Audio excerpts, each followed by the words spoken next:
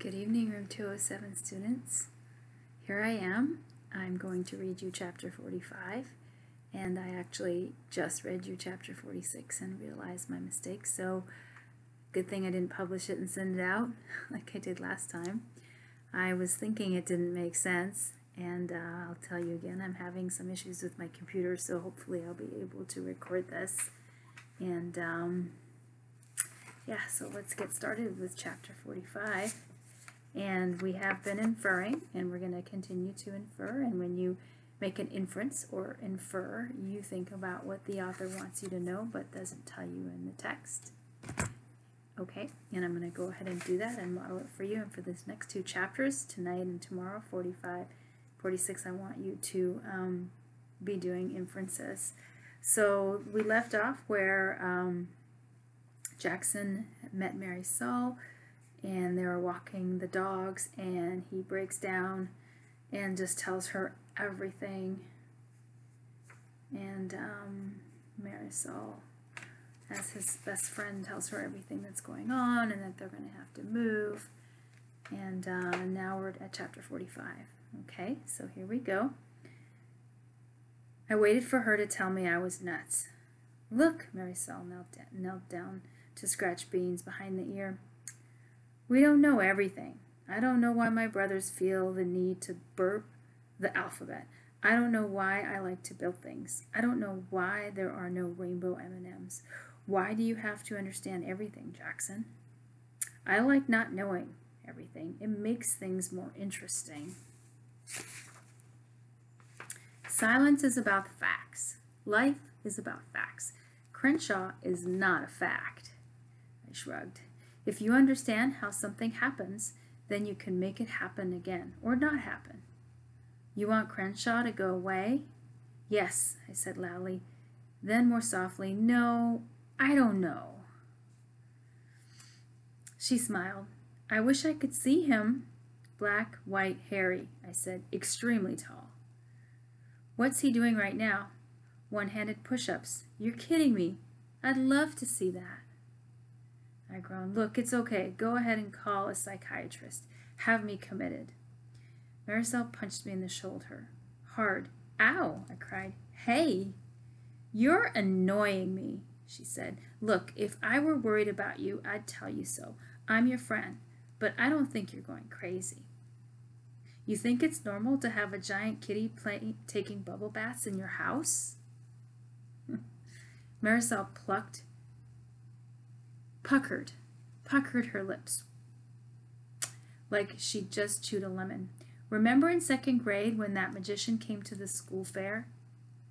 He was lame. He was he was so lame. Remember how you went behind the stage and figured out how he was making that rabbit appear? And then you told everybody? I grinned. Figured it right out. But you took the magic away, Jackson. I liked thinking that little gray bunny appeared in a man's hat. I liked believing it was magic. But it wasn't. He had a hole in the hat, and Marisol covered her, her ears. I didn't care, she cried, punching me again. And I still don't care. Ow, I said again. I said again. Jackson, Marisol said, just enjoy the magic while you can, okay? I didn't answer. We walked in silence, following our usual route, past the little park with the fountain, past the bike path I've ridden a zillion times, back when I had a bike, past the place where I broke my arm popping a wheelie, past the sign that said, Welcome to Swan Lake. And I'm going to stop there and I'm going to ask myself, what did Marisol say? Jackson, just enjoy the magic while you can. And Jackson said doesn't answer. So I'm going to make an inference here and I'm going to think, what is he thinking about? What could he possibly be thinking about? He's walking in silence. Is he taking to heart what she is saying? And I'm thinking about his feelings. I'm making that inference. Does he feel regret? about the bunny incident? Welcome to Swan Lake Village. I read that swans stay together for life, Marisol said. Usually, I said, not always. You and I will be friends for life, Marisol said. She stated it like any nature fact, like she just said, the grass is green. I don't even know where my family's going. Doesn't matter. You can send me postcards. You can email me from the library. You'll find a way. I kicked it at a stone. I'm glad I told you about Crenshaw, I said. Thank you for not laughing. I can practically see him, said Marisol. He's doing backflips in my front lawn. Actually, he's doing the splits on your driveway. I said, practically see him. She smiled at me.